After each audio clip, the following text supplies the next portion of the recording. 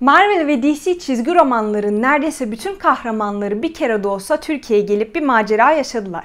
Peki süper güçlere sahip Türkler yok mu?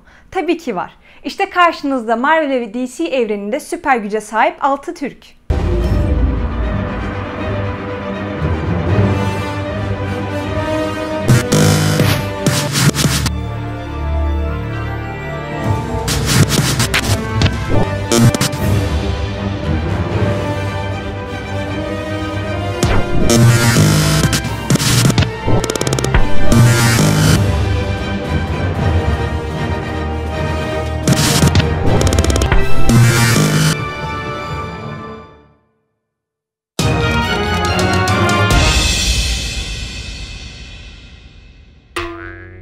DC'nin yeni çerisi Selma Tolon en çok videosu haberi yapılan kahraman olduğundan listemizde ilk ondan bahsedelim istedik.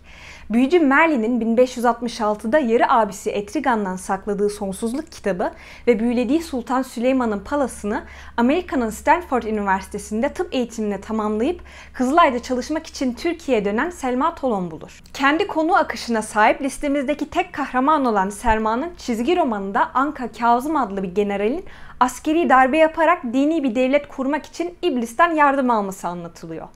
Osmanlı askeri zombilerle savaşan Yeniçerimizin yardımına Justice League Amerika koşuyor. Batman, Wonder Woman, Aquaman ve Green Lantern Türkiye'ye geliyor. Batman esprisi ve Batman'in iblisi yenmesi için Selma Tolon'a Allah'a secde etmesini söylemesiyle bir anda 6. his programına geçiş yapılan çizgi romanın dışında Yeniçeri başkalarının yardımına koştuğu diğer romanlarda da yer alıyor. Marvel'ın Sentry çizgi romanında SHE yani Avrupa'nın süper kahramanları grubunda yer alan 4. takımında Red Dragon, Yavelin ve Shamrock ile yer alan Flying Carpet yani muhteşem adıyla Uçan Halı bir diğer Türk süper kahramanımız. Void ile olan savaşta sadece adı geçen, kendisini göremediğimiz Orada bir kahraman uzakta, o kahraman bizim kahramanımızdı. Kendisi gibi kaderi de görünmemekle birlikte Void'un düzenlediği sürpriz saldırıda öldüğü varsayılıyor. Bir nevi tek çizgi romanlık ün sahibi. Erlikan Göktanrı Ülgen'in oğlu ve eski Türklerin inancı Tengricilikte yeraltı aleminin efendisidir. Marvel evreninde de aynı şekilde yer alan Erlik, babasıyla aynı seviyede olmak istemiş fakat reddedilmiştir. Bunun üzerine kendi dünyasına sahip olmak isteyen Erlik, yerin 9 kat altına gönderilmiş ve o andan itibaren sürekli yukarıdaki dünya ile çatışmaktadır. Her kolunda 3 küçük kol daha bulunan bu çirkin şey 9 çocuğu ve iblislerle birlikte Doctor Strange'in karşısına çıktı. O sırada The Defenders doktorun yardımına koştu ve Erlikan yenildi.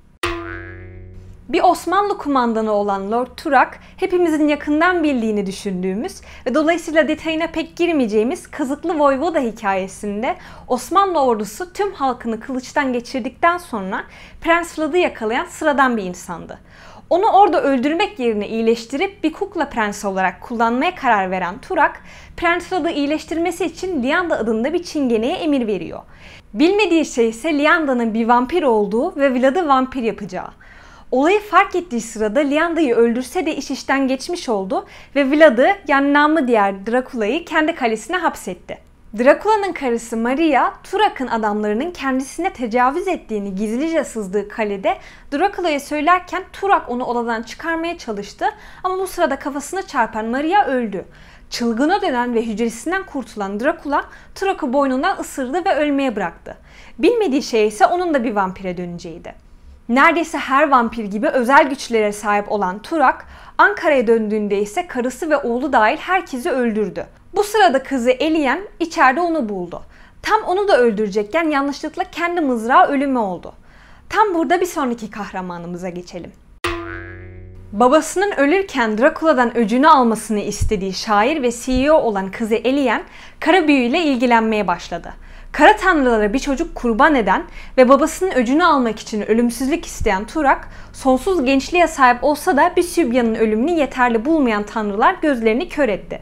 Sonunda Dracula'nın karşısına çıksa da başarısız oldu ve Dracula onu ısırıp vampire döndürmek istedi. Bu sırada cesedini zamanında bulan Blade'in yardımcılarından Catherine Fraser tarafından öldürüldü. Trajik bir aile hikayesi. Suicide Squad üyesi bir Türk olduğunu biliyor muydunuz? Silah kaçakçılığı yapan bir aileden gelen Yasemin Söze dünyanın en iyi nişancılarından biri olarak biliniyor. Huntress tarafından yakalanıp Belle Reef hapishanesinde kapatılan Yasemin'e yakında yayınlanacak filmin fragmanında da gördüğümüz gibi Amanda Waller tarafından Suicide Squad'a katılması teklif ediliyor. Eskiden Suicide Squad üyesi olan Deadshot'ın yerini alan Yasemin Söze ilk savaşında ölmekten korkup kaçtığı için takım içinde tabiri caizse eziklenmeye başlanıyor. Suicide Squad'a Lex Luthor'un kurduğu Secret Six adı verilen paralı askerlerden oluşan grubu etkisiz hale getirmesi emri verildiğinde ise Yasemin'den yerine geçtiği Deadshot'u öldürmesi bekleniyor. Maalesef Deadshot Yasemin'i öldürüyor. Ama Yasemin'in hikayesi burada son bulmuyor. Black Lantern olarak tekrar dirilen Yasemin, Manhunter androidinin yarattığı Green Lantern patlamasına kadar da Black Lantern yüzüğüne sahip oluyor. Acaba yeni DC sinema evreninde de Yasemin karşımıza çıkar mı? Listemizi beğendiniz mi? Listemize koymayı unuttuğumuz Marvel ve DC evreninde başka hangi Türkler var? Fikir ve yorumlarınızı aşağıdan veya kafeinsiz.com Twitter ve Facebook hesaplarından bize ulaştırırsanız seviniriz. Videomuzu beğendiyseniz beğenip paylaşarak bize destek olabilir. Beğenmediyseniz beğenmedim tuşuna basabilirsiniz. Bu videolardan daha fazlasını izlemek istiyorum derseniz kanalımıza abone olabilir.